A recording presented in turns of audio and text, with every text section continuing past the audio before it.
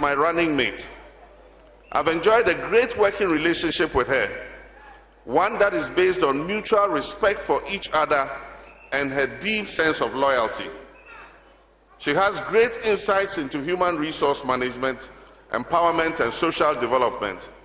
And under my administration, she will have oversight, among others, of the education sector, the health sector, gender, and social protection.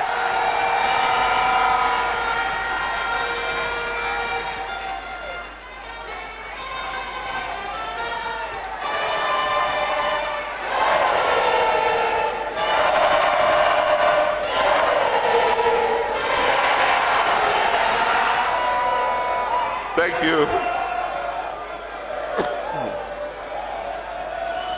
In these, in these dire times, when unemployment rates have risen astronomically and poverty is stalking our land, ours will be a pair of experienced individuals poised to work together to make the difference that Ghanaians deserve.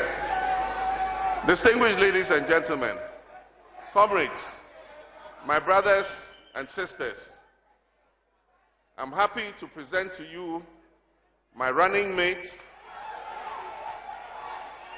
and by the grace of God and the votes of you, my fellow citizens, I'm happy to present Ghana's next vice president.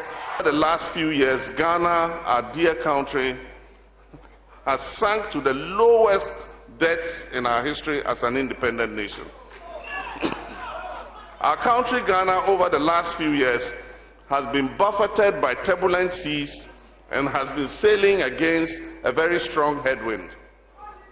Our leadership has been uninspiring and inept. We have lived under an administra- administration that is unable to be truthful and honest to the people of Ghana and never accepts responsibility for anything. There can be no question in our minds that the effect of this maladministration has been so insidious and pervasive that today our people have lost faith and hope in not just the government of the day, but in our democratic system of governance. Ladies and gentlemen, our country needs an urgent reset.